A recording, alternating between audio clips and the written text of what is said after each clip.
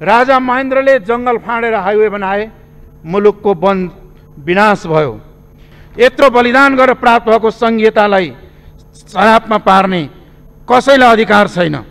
संविधानको कुरा गर्ने हो भने सभामुख महोदय निश्चित रूपमा यो संविधान जारी हुँदाखेरि देशको आधाभन्दा ठुलो जनसङ्ख्याले कालो दिवस मनाएका थिए र संविधानलाई अस्वीकार गरेका थिए। अहिलेसम्म द्वन्द्वलाई व्यवस्थापन गर्ने शान्ति प्रक्रियालाई टुङ्ग्याउनको लागि सत्य निरूपण मेलमिलाप आयोग सत्य निरूपण तथा मेलमिलाप आयोग टिआरसीको कतै हत्तो पत्तो पनि छैन। यस्तो अवस्थामा त्यो कसरी शान्ति प्रक्रिया निष्कर्षमा टुङ्गोमा पुग्ने हो त्यसको यो महत्त्वपूर्ण पाठ हो। त्यस विषयमा कुनै ठोस कुनै स्पष्टता नै छैन।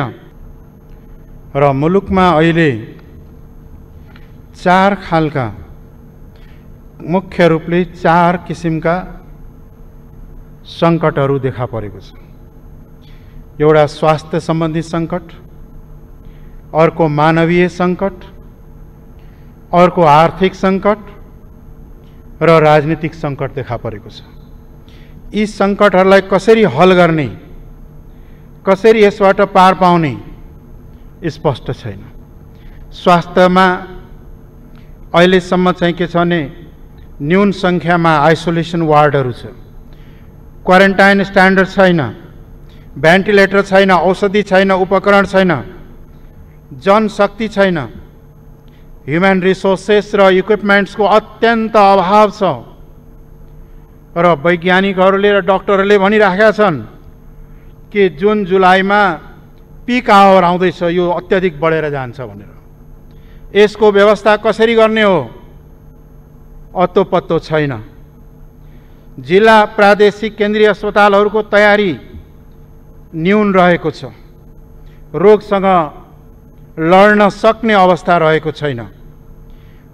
यो नीति कार्यक्रमले महामारीलाई सम्बोधन गर्न सकेको छैन।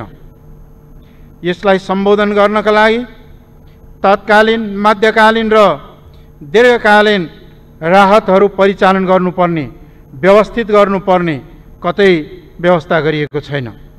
आवश्यक पर्ने जनशक्तिको आपूर्ति र त्यसको परिचालन ह्युमन रिसोर्स र इक्विपमेन्ट्सहरूको व्यवस्थापनको कुनै ठेगानै छैन। अत्यन्त अभाव रहिरहेको छ। अहिलेसम्म सरकारले गरेको लकडाउन बाहेक न्यून परीक्षण बाहेक केही गर्न सकेको छैन। अहिले पनि बच्चाहरू वृद्धहरू चाहिँ के भन्दाखेरिमा कुपोषण र दीर्घ रोगीहरू देखा पर्न थालिसकेका छन्। अहिलेसम्म देशभरिमा पिआरसी टेस्ट गर्ने व्यवस्था हुनुपर्नेमा कहीँ देखिएको छैन।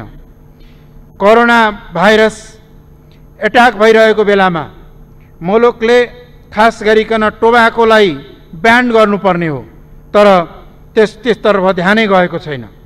त्यस्तै गरिकन मानवीय सङ्कटमा अहिले भारतीय सिमाना लगायत विदेशहरूमा र भारतीय सिमानामा सबभन्दा हजारौँ हजार नेपालीहरू उताबाट धक्का दिएर नेपाल जा भन्छ यताबाट धक्का दिएर उता जा भन्छ कहाँ जाने हो? अब नो म्यान्स ल्यान्डमा मधेस आन्दोलनको बेला यता चाहिँ गोली ठोक्ने उता गएर नो म्यान्स ल्यान्डमा बस्नु परे जस्तो बस्नुपर्ने हो कि के हो? ती एउटा ठुलो मानवीय सङ्कट त्यहाँ उत्पन्न भइरहेको छ। गरिबहरूको लागि खाद्य सुरक्षाको सङ्कट परिरहेको छ। अहिले बच्चे चाहिँ माल न्युट्रिसन बढ्दै गएको छ। एकदम चाहिँ गरिब मे रेखामुनि रहेकाहरूले राहत पर्याप्त राहत आवश्यक राहत समेत पाइराखेको व्यवस्था रहेको छैन। अब विदेशबाट आउने नागरिकहरूलाई कहाँ राख्ने हो? कहाँ व्यवस्थित गर्ने हो? सरकारको कुनै दृष्टिकोण कुनै व्यवस्था नै छैन। त्यसै गरिकन आर्थिक सङ्कटको रूपमा हेर्दाखेरि राजनैतिक स्थिरता र समृद्ध नेपालको नारा दिएर वर्तमान सरकार बनेको हो। तर बजेट खर्च गर्ने क्षमता र अवस्था नै छैन। अहिले वर्ल्ड ब्याङ्कले भर्खरै निकालेको इन्फर्मेसनमा टु पोइन्ट फाइभ पर्सेन्ट वृद्धि दर र त्यो पनि तल्लो गइरहेको छ। यसले आर्थिक सूचाङ्कहरू खस्ने रेमिटेन्सहरू खोम्चिने र गिरावट आउने वित्तीय संस्थाहरू धराशायी हुने ब्याङ्कहरू दिवालिया हुने भ्रष्टाचार र अनियमितता तीव्र गतिले बढ्ने सङ्केत दिइसकेको छ। यसलाई रोक्ने कुनै उपाय देखिँदैन। पछिल्लो छ वर्षमा सभामुख महोदय साठी अरब रुपियाँभन्दा बढी कृषि अनुदानमा प्रभाव भएको छ। तर वास्तविक किसानले नपाएको गुनासो बढिरहेको छ। यस्तो अवस्थामा कृषिको उत्पादन दोबर गर्ने कुरा हावादारी कुरा बाहेक केही पनि होइन। आर्थिक सूचाङ्कको स्थिति नराम्रो हुँदै गएको छ। विपन्न वर्गले निकै कष्ट भोग्न पर्ने अवस्थाहरू आउँदै गएको छ। भर्खरै गरिबीबाट केही परिवारहरू माथि आएका थिए। ती अझ फेरि गरिबीतर्फ र दरिद्रतर्फ फर्किँदै गएका छन्। यसलाई रोक्ने उपाय खोइ? उत्पादन र सप्लाई चेन नै ठिक भएन भने यो अर्थव्यवस्था कहाँ धराशायी भएर जान्छ? सङ्कटग्रस्त इकोनोमीलाई कसरी माथि ल्याउने कसरी रिकभरी गर्ने त्यसको पोलिसी खोइ?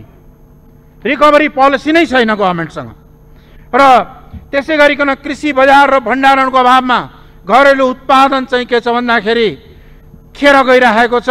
किसानले सडकमा फाल्नुपर्ने स्थिति आइसकेको छ। अब सीमा पारी र बाहिरबाट आउने ती युवाहरूलाई देशमा चाहिँ पूर्वाधार विकास कृषि उत्पादन र साना उद्योग लगायतकाहरूमा इङ्गेज गराउने प्लानिङ खोइ नीति कार्यक्रममा। लोकल प्रोडक्टको म्यानेजमेन्टै छैन। अब खाने पानीको कुरा गर्दाखेरि मलाई एउटा याद आउँछ। कृष्ण प्रसाद भट्टराईजी प्रधानमन्त्री हुँदाखेरि मेलम्चीको कुरा आएको थियो। अहिले प्रधानमन्त्री सामान्य प्रधानमन्त्रीजी ओलीजी आइपुग्दाखेरि एक दर्जन प्रधानमन्त्रीजी हुनुभएको रहेछ। तर मे र चार पाँचजना प्रधानमन्त्री त परलोक गइसक्नुभयो तर मेलम्ची चाहिँ आएको छैन। यस्तै हावादारी कुरा गरेर चाहिँ समस्या हल हुँदैन। औद्योगिकरणको पक्षमा अब उद्योग र व्यवसायीहरू उद्योगीहरूको लगानी प्रवर्धन गर्ने पक्षमा र कुनै नीति नै आएको छैन। रुग्ण उद्योग सञ्चालन गर्ने भन्नेको त विगत वर्षदेखि प्रत्येक सरकारले भन्दै आएको। तर किन आजसम्म एउटा पनि रुग्ण उद्योग सञ्चालन हुन सकेन? किन लगानीकर्ताहरू तर्सिएका छन्? इ लगानी गर्न इच्छुक छैनन्? बाहिरी र आन्तरिक दुवै लगानीकर्ताहरू नेपालमा किन लगानी गर्न चाहिरहेका छैनन्?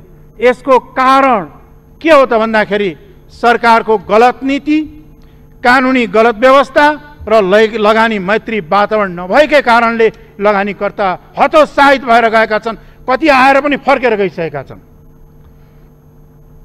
अब समुद्रमा नेपाली जहाज के अरे समुद्रमा नेपाली झन्डा वाहक जहाज त एकपटक राणाजीहरूले पनि चलाएका थिए। योभन्दा अगाडिको बजेटमा के अरे नीतिमा पनि भनिएको थियो। अहिले त्यो भनेको भनेका छन् यता अहिलेसम्म ऐन मसौदाकै क्रममा छ। कोशी गण्डकी नदीको रुट अध्ययन गर्ने काम पनि भएको छैन। यो कसरी सम्भव हुन्छ? कहाँबाट यो कुरा आइरहेको कृषि सिँचाइको अभाव अकाशे खेतीको भर पर्नुपर्ने अवस्थामा कृषिमा रोजगारीको सिर्जना कसरी हुन्छ?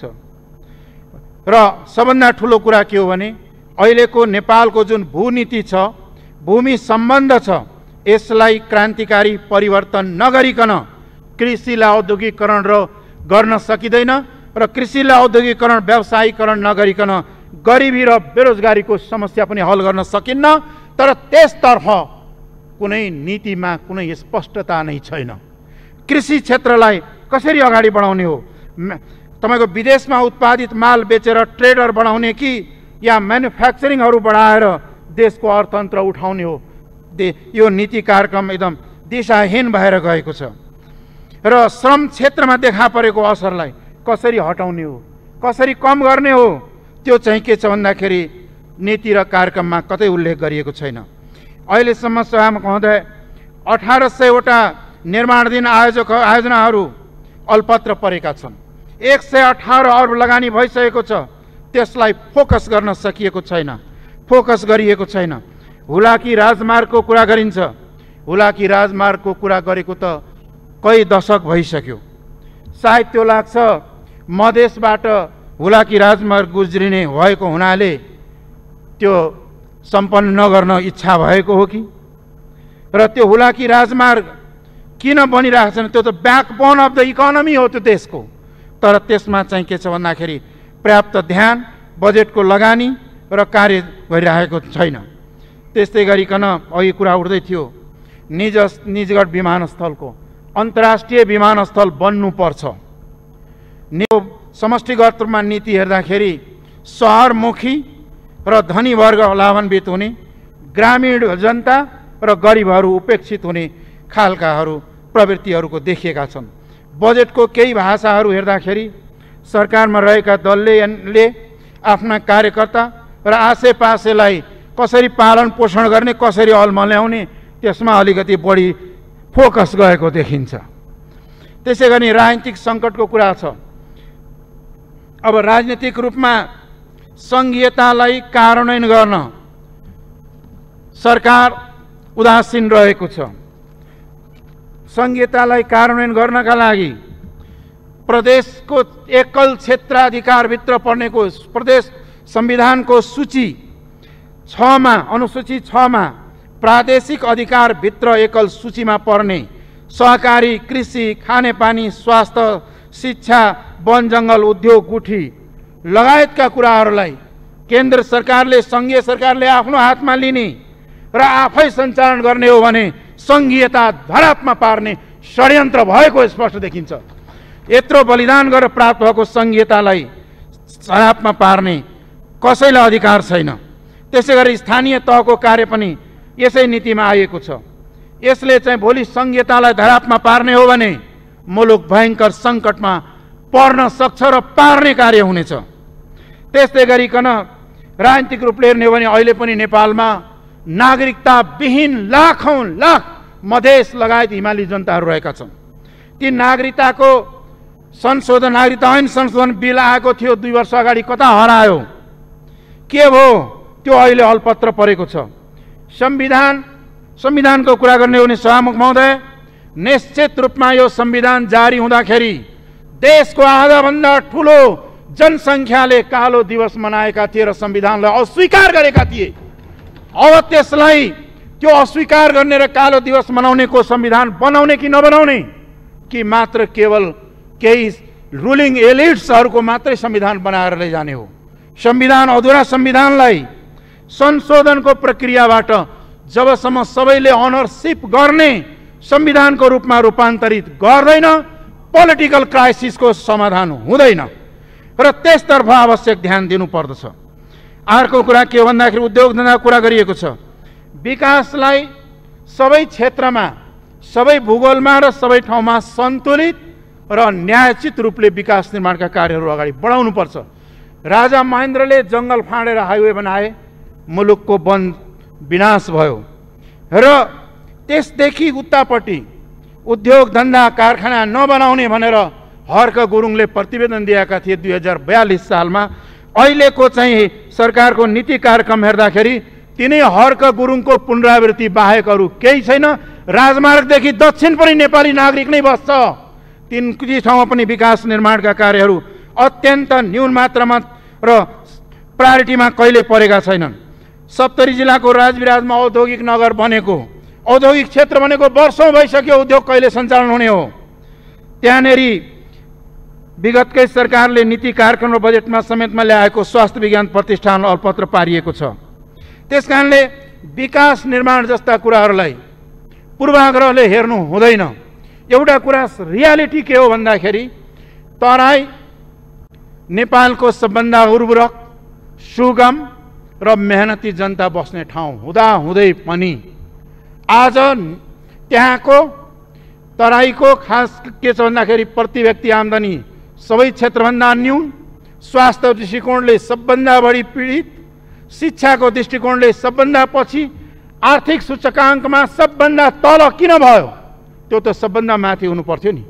त्यसको एउटै कारण के हो भन्दाखेरि विगतका सरकारले लिएको अत्यन्त पूर्वरा पूर्वाग्रही र विभेदकारी नीतिकै परिणाम आज सम्पूर्ण देशले भोग्नु परेको छ।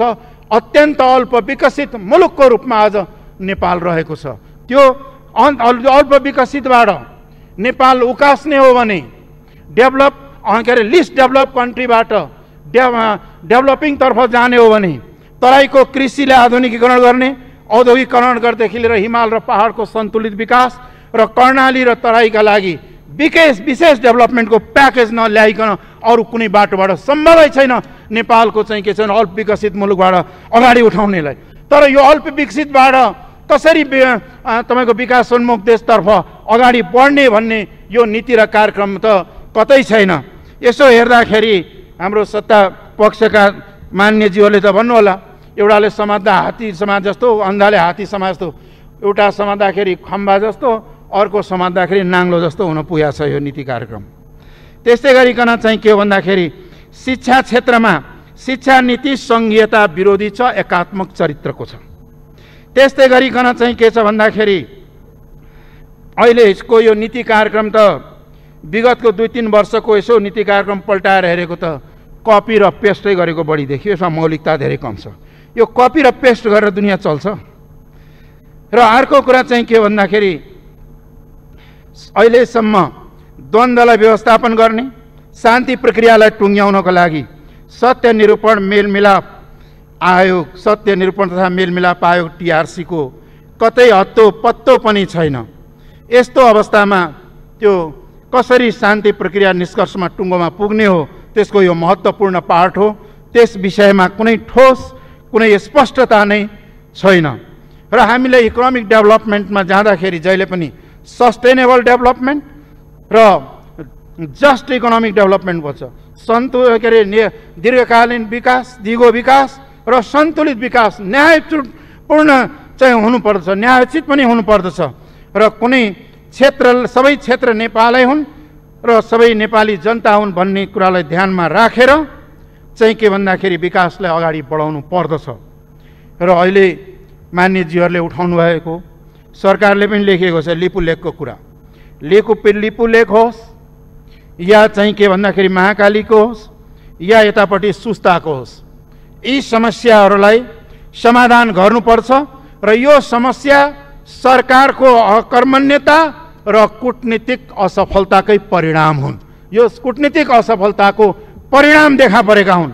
यसलाई चाहिँ के छ भन्दाखेरि हल गर्नका लागि चाहिँ के भन्दाखेरि बाइलेट्रल डिप्लोमेटिक च्यानलबाट बाइलेट्रल्ली चाहिँ के छ भने डायलग गरेर यी समस्यालाई चाँडै हल गरोस् र सरकारले अहिले मुख्य रूपमा स्वास्थ्य शिक्षा कृषि र चाहिँ के छ भने उत्पादन र सप्लाई र तलको पिपुलसम्म जाने राहत र स्वास्थ्य जनताको संरक्षण गर्नेमा ध्यान केन्द्रित गर्नुपर्दछ र यसतर्फ ध्यान जाओस् र यो नीति कार्यक्रमलाई मेरो अनुरोध के हो भने यसमा कुल माइन्डले थिङ्क गरेर पुनर्विचार गरेर यसलाई परिमार्जन गर्नुहोस्।